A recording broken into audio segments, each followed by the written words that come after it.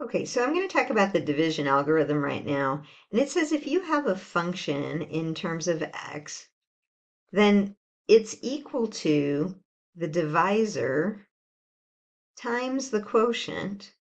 And these are polynomials, okay, plus the remainder. Okay, now the remainder could be a constant. We saw that on the last example, but it could be um, a higher degree, okay? But the degree has to be less than the divisor. Okay, so let's talk about degrees. So when we talk about degrees, like this polynomial down here, that has a degree 4. Okay, and here we have the divisor, which is a degree 2. So the degree of d of x, the divisor, has to be less than the degree of the original polynomial. Now that makes sense if you think about it. You know, you couldn't divide into a a polynomial that had a smaller degree. Okay. The remainder, the degree of the remainder has to be less than the degree of the divisor. Whoops, the divisor. Okay. And if r of x, if the remainder equals zero, then we say it divides evenly. Okay, so there's some terminology too. So if you ever want to check to see if your division's right, you take the divisor times the quotient, add the remainder, and that should equal the original function. Okay, now that's a bit of work, but um, you certainly could do that. We have the technology.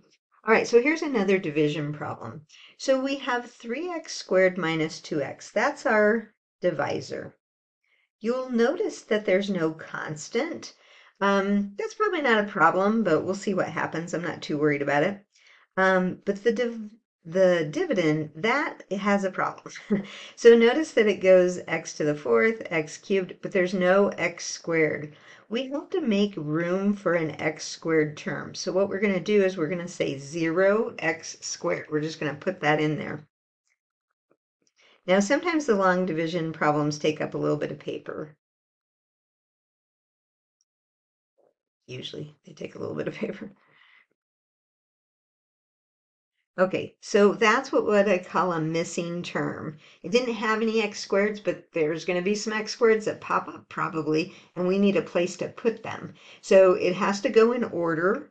Um, you put the zero in to say we don't have any. It kind of looks like ox, but it's a zero x squared. Okay, now we're just going to go through the process. This is what we've been working on. How many times is 3x squared going to 6x to the fourth? You could stop the video and think about that. But hopefully you came up with 2x squared. Then you're multiplying. 6x to the fourth. You're kind of double checking when you do that multiplication. And then minus, you got to multiply the 2x squared times negative 2x, minus 4x cubed. Okay, so far so good. Now we're going to change our signs. Those are canceling out. They're supposed to. Now we're going to get 9x cubed. And the next term to bring down is that 0x squared.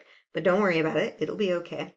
All right, now we go again. How many times does 3x squared go into 9x cubed?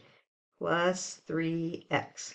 So again, you could kind of stop yourself as we're going through this, stop the video and see if you know what the next term is. Okay, now we multiply. 3 times 3 is 9. x squared times x is x cubed. Great. And 3x times negative 2x is going to be minus 6x squared. See, we needed a place to put that 6x squared. That's why the zero is there. It's like a placeholder. Okay? All right. Now we're going to change the signs, which is the subtracting.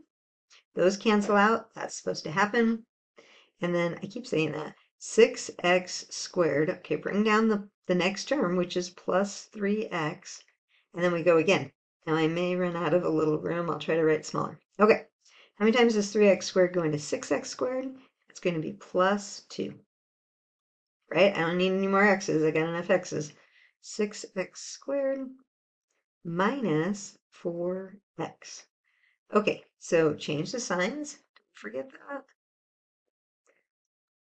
Sometimes people will forget that.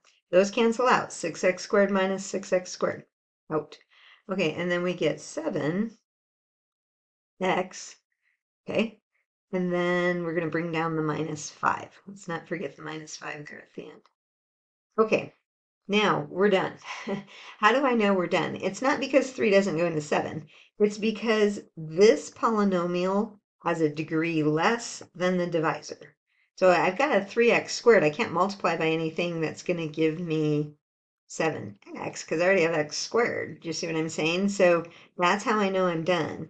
Um, you could say, try to be fancy and stuff, but it won't be polynomial. So um, there's no polynomial that I'm going to multiply by 3x squared by to get just an x. Okay? All right, so you can think about that in your spare time. Um, so what's the answer? 2x squared plus 3x plus 2 plus, and now here comes the remainder, 7x minus 5 over the dividend. 3x squared, and not the dividend, the divisor. Listen to me. Okay. It's because it's Friday. All right. There you go.